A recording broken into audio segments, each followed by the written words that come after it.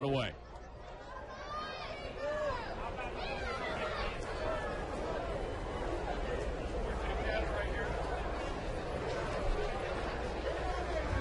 Rosa stares and delivers. Tebow grounds one right side through the hole, a base hit. One run is in. Jabs waved around third. Wild throw up the line from the right fielder. There goes Ali Sanchez to third. He slides in safe ahead of Eduardo toss. Two come in on Tim Tebow's base hit to right field. It's 2 0 Columbia in the bottom of the second.